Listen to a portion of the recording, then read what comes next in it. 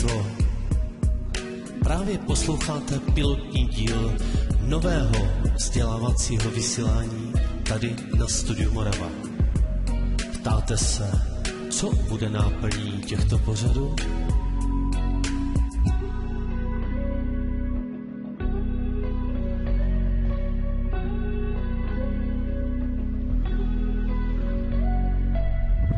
Budeme se dotýkat těch nejožehavějších otázek každé bytosti a života zde i v jiných dimenzích.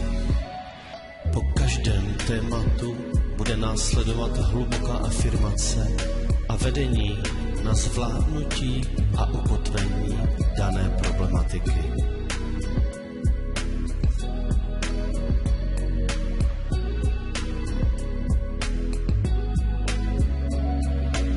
Připojte se a svým vzestupem pomůžete další. Změňme tuto planetu a strhněme okovy, které nás svazují. Zvyšme úroveň svých vibrací a zařaďme se na místo, kde již dávno patříme.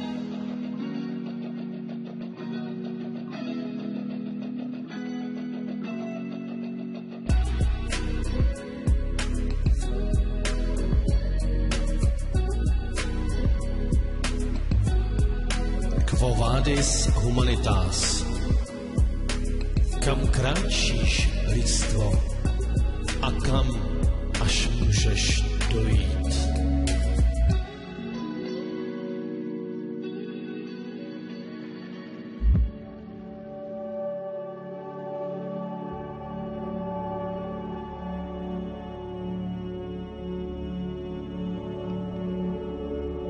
Přátelé, doufám, že jste se těšili na tuto další epizodu, kterou jsem avizoval už v předešlém dílu a která eh, bude o 5D, o tom vysněném 5D, o kterém se tady tolik už napsalo, tolik se toho nařečnilo. A teď se podíváme, eh, co nám o tomhle tom, o tomhle tom, o téhle páté dimenzi a průchodu eh, do páté dimenze řekne Matias de Stefano, který bude promotorem tohoto dalšího dílu a doufám, že zase vám přinese spousta podnětů k zamyšlení, spousta námětů na, eh, na to, abyste mohli o tom debatovat a abyste se nad tím mohli zamýšlet. Takže právě začínáme. Co jsou stavy vesmíru? Takže podíváme se na to z pohledu Matiase de Stefana a v této epizodě se naučíme o stavech vesmíru. Stavy vesmíru jsou tři a procházejí jimi každá realita. První je láska, druhý je moudrost, třetí je vůle. Tyto tři nástroje nám umožňují chápat vesmír z různých perspektiv a jakmile máme tyto tři stavy, tak celý ten proces vede k evoluci a cílem je spolutvoření. Toto je základ páté dimenze. Pátá dimenze se zrodila ve stejný okamžik jako ta první. První se zrodila z toho, co si to bytí o sobě myslelo. Ale součástí toho je projev lásky, moudrosti a chápání své podstaty a vůle se pohybovat a tvořit. Proces, proces čtyř stavů zároveň vede k evoluci a jakmile dosáhnete evoluce v každé fázi vesmíru, tak jste spolutvůrce. Stanete se nejen stvořením, ale i stvořitelem. V páté dimenzi jsou ti moudří, kteří zažili třetí dimenzi a mohou sledovat celý ten proces 4D a chápat, proč.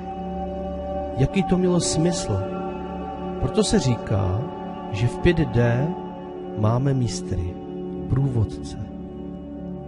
Bytosti, které nás provázejí životem a říkají nám, co je dobré, co je špatné, kam máme chodit, kam ne, co dělat, co nedělat.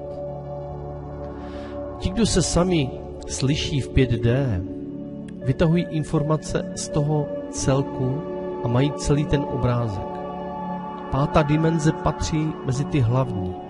Můžete se, můžete se vidět ve čtyřech dimenzích.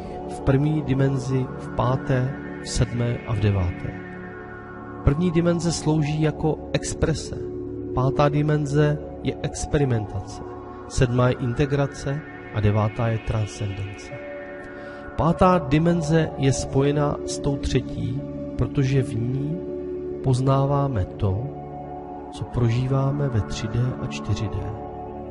Proto nás bytosti z 5D provázejí ve 3D a jak žijeme ve 3D jako lidé nebo rostliny, zvířata, minerály, cokoliv, tak těm zkušenostem a zkušenostmi pomáháme lidem z 5D chápat sebe samé. Věřilo se, že bytosti ve 4D a v 5D, v 6D jsou vyvinutější než my. Ale tak to není. Mezi dimenzemi se od sebe učíme. Takže jak experimentujeme ve 3D, v 5D vidíme celý ten obrázek. Ale jak prožíváme, tak jim pomáháme cítit ty projevy. Jsme jako symbiotická bytost s celým vesmírem. Dimenze jsou jako orgány v těle vesmíru a každá má svůj smysl, ale společně tvoří jednu bytost a rozvíjející, rozvíjejí se. Každá bytost ve vesmíru se tedy musí dostat do 5D s těmito pěti stavy.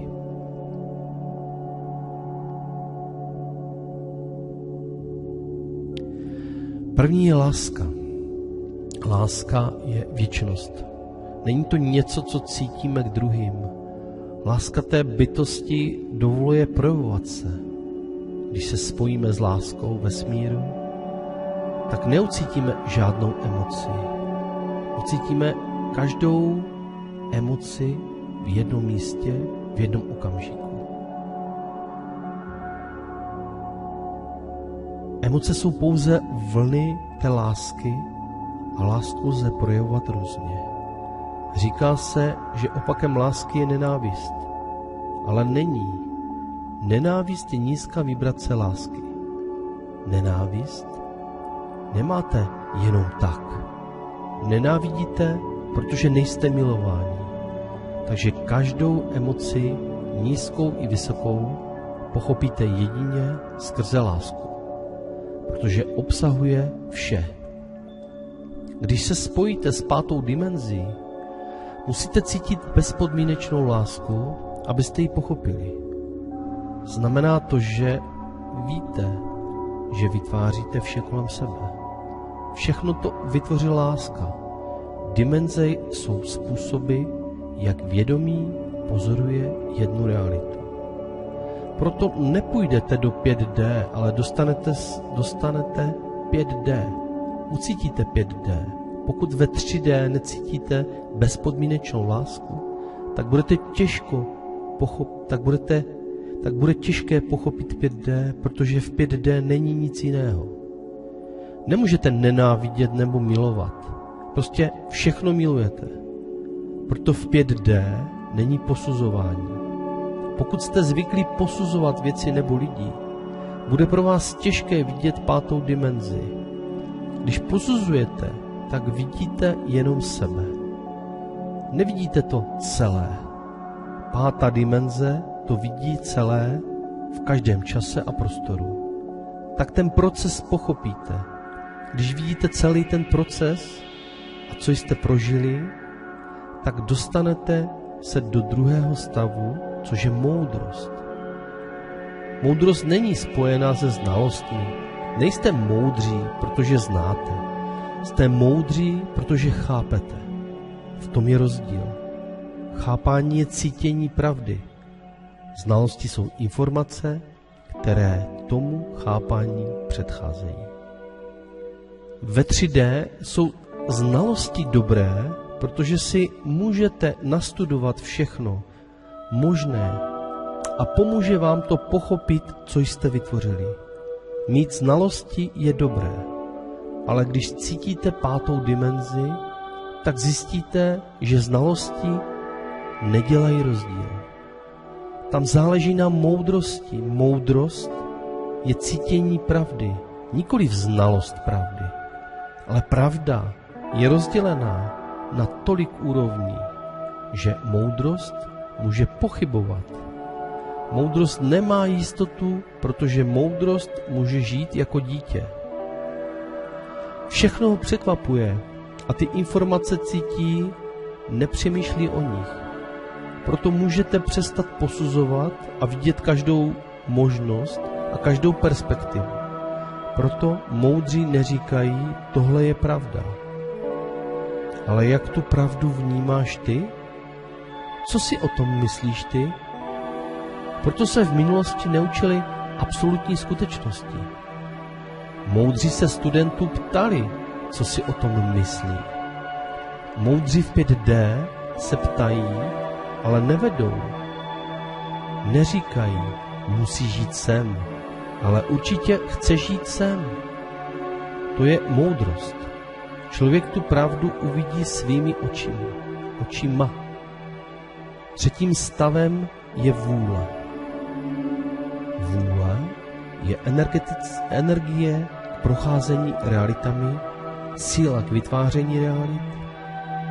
Pátá dimenze pracuje s vůlí, protože ví, že skrze lásku a moudrost ucítíme a pochopíme celý ten obrázek a vůle tomu dodává energii.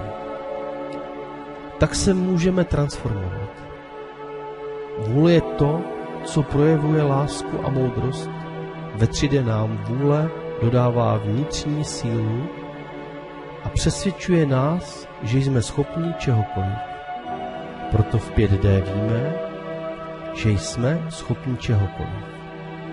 Ve 3D nás omezují kulturní věci, emoční věci, biologické věci, jsme omezení na tento experiment.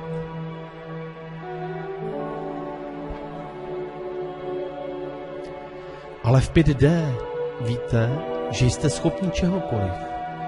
Jakmile jste v 5D a všechno to víte, tak je vám to jasné.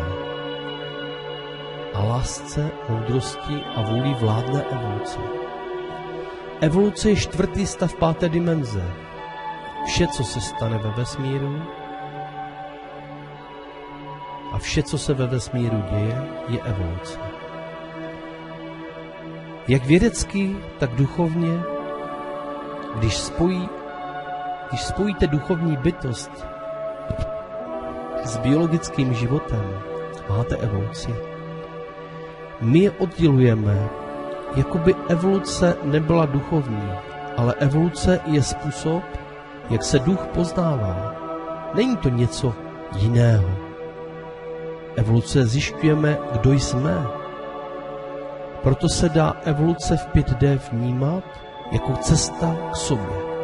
Cesta k poznání toho, co dokážeme, proto nemůžeme evoluci uniknout. Je to jeden z nejdůležitějších stavů vesmíru. Vesmíru je jedno, zda dosáhneme cíle. Záleží mu na tom, zda se učíte a tím se dostáváme ke spolutvoření. My jsme stvoření, stvořila nás mysl první dimenze a vyvíjíme se proto, aby z nás byli stvořitelé. My sami jsme různé mysli první dimenze. Vesmír nás rozdělil a tím vytvořil obrovské množství nových vesmírů. Jedna velká bytost vytvořila tisíce a tisíce vesmírů. Bytosti, které si to začnou uvědomovat. To znamená, že jednoho dne budeme bohové. Staré světy na bohy nevěří. Nevěří v něco, co nás vytvořilo. Věří, že jsme všichni jedno bytí a každá bytost se připravuje být Bohem. Proto byly starověké chrámy místem, kde se člověk stával Bohem. Toto spolutvoření je tedy hlavní cíl páté dimenze. Znamená to spolutvořit realitu. Čím jste vědomější, čím více si uvědomujete, že vytváříte realitu, že své perspektivy. Pokud máte celou perspektivu, tak tu realitu můžete měnit. Stanete se stvořitelem, takže netvoříte něco pro sebe, ale tvoříte s ostatními, jako jedna bytost. Proto spolustvoření spojené se zákonem přitažlivosti. Když si něco chcete přitáhnout, tak na té realitě musíte pracovat. Jste spolutvůrcem a tu realitu si vymyslíte. Může to být auto, dům, ale o tom to není. Spolutvoření znamená sdílet to se všemi ostatními, kteří se na tom podíleli. Není to o tvoření hmoty, jde tam o zkušenosti. Takové bytosti nevytvářejí hmotu, ale vytvářejí pocity, projevy. Proto můžete z 5D pozorovat všechno, co jste prožili ve 4D. Je exprese, experimentace, integrace a transcendence. Tyto čtyři definují procesy ve vesmíru. A pak jdete nahoru a máte pyramidu a nahoře je 5D. Pokud vidíte, co jste v tom kruhu dělali, tak se vám ukáže, k čemu to bylo. Všechno, co se děje, má smysl a význam. Nic není dobré nebo zlé. Zkusme si to neposuzování ukázat na příběhu, který všichni dobře znáte. Tento svět nedávno postihla druhá světová válka. Byla to jedna z nejpříšernějších věcí nedávné historii. Stala se v minulosti a my ji teď integrujeme do 21. století. Hitler z pohledu 3D dělal ohavnosti, ale v 5D to vypadá trochu jinak. V 5D to duchovní bytosti a průvodci vidí uceleným pohledem třetí dimenze, vidí se se vším všudy a viděli, že lidstvo bylo na velmi nízké vibraci.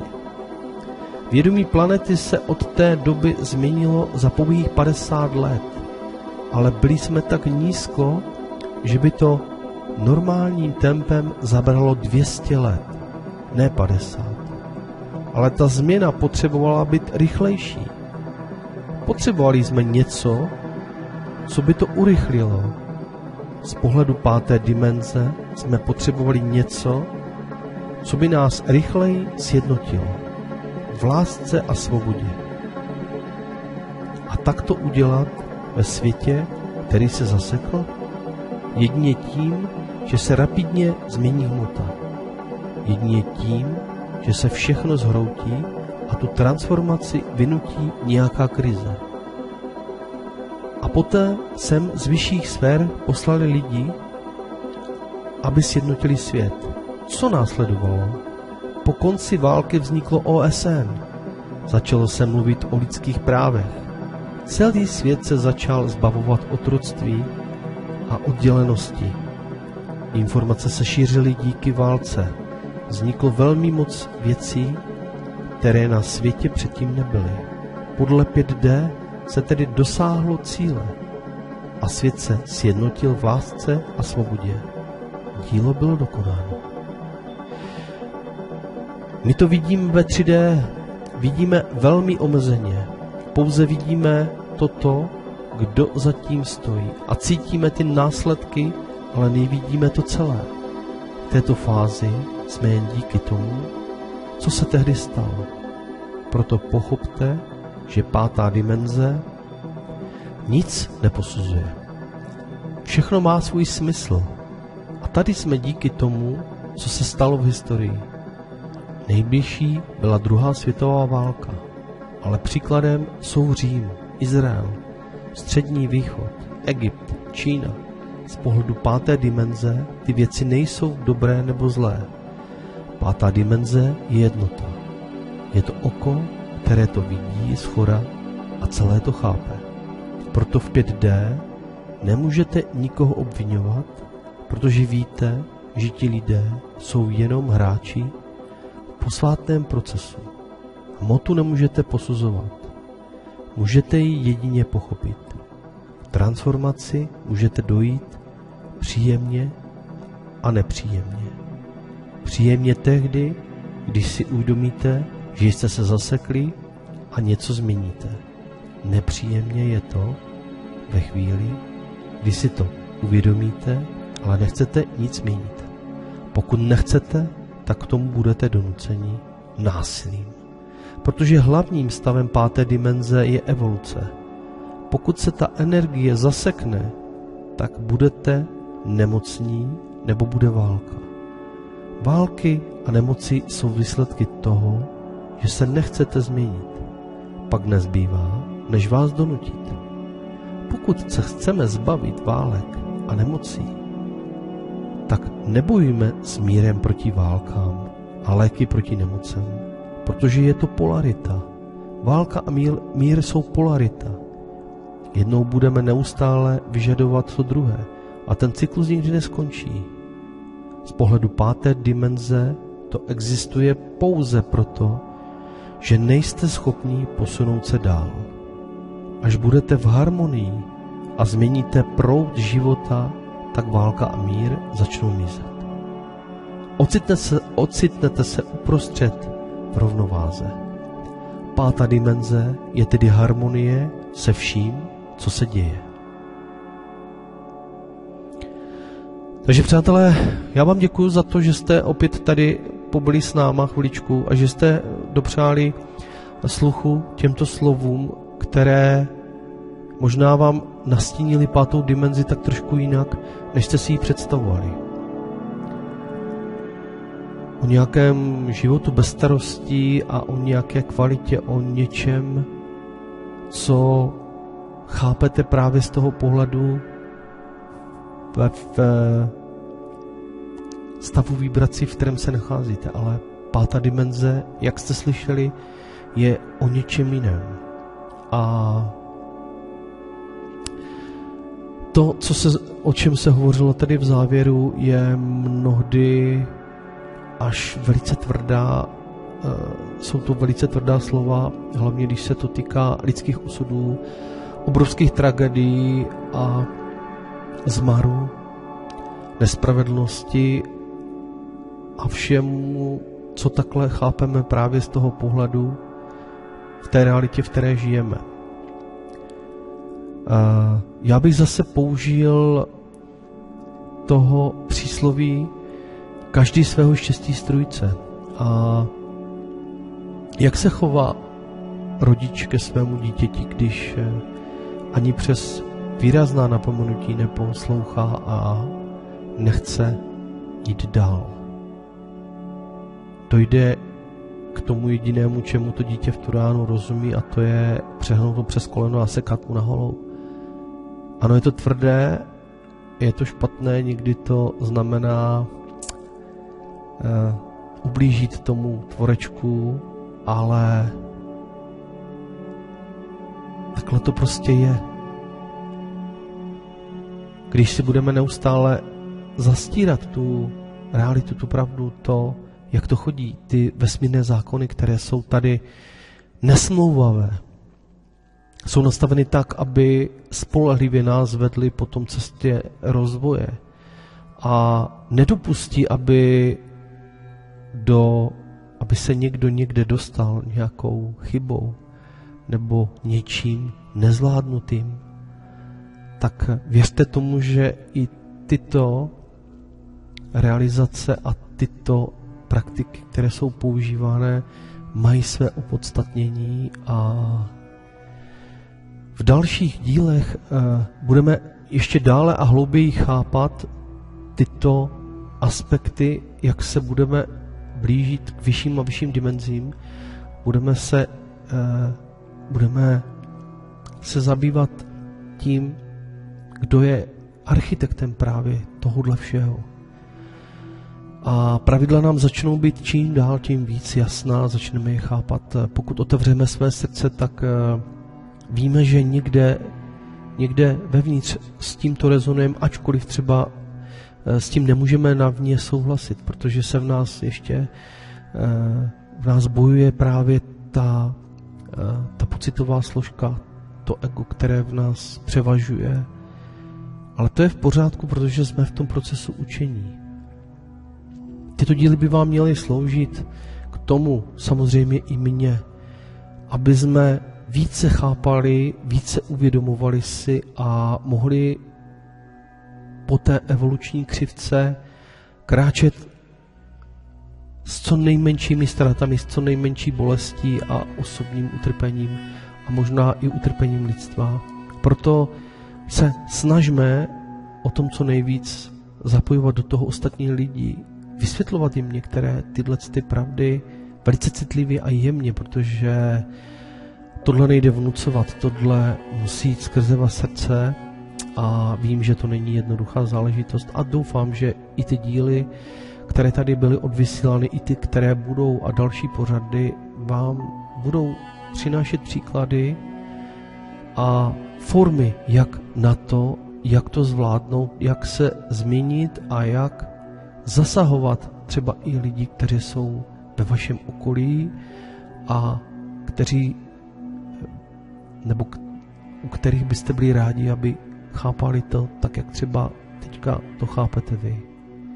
Já mu k tomuhle uh, držím palce a přeju vám mnoho úspěchů a jsem rád, že jsme tady zase nějaký čas spolu mohli strávit, že jsme se mohli pobavit o tak těžkých tématech, které jsou právě pochopení toho, co se děje v 5D, v hustotě pátého řádu, v tom, co se tam řeší za situace, za problémy, jaké bytosti s námi komunikují a jak na to vše nahlížejí, protože pochopení těchto principů a pochopení a zvládnutí těchto pravidel je to nejcennější, co můžeme z těchto hovorů pochytit. A to už by bylo všechno ze Studia Morava. Já vám přeju všechno nejlepší a hlavně hodně pochopení a porozumění a přátelé, těšte se na další díl, protože se budeme bavit o architektech reality. Tady je Studio Morava, tady je Radek a já vám přeju krásný dobrý večer, noc, den, zkrátka ten čas, který to posloucháte. Zase příště.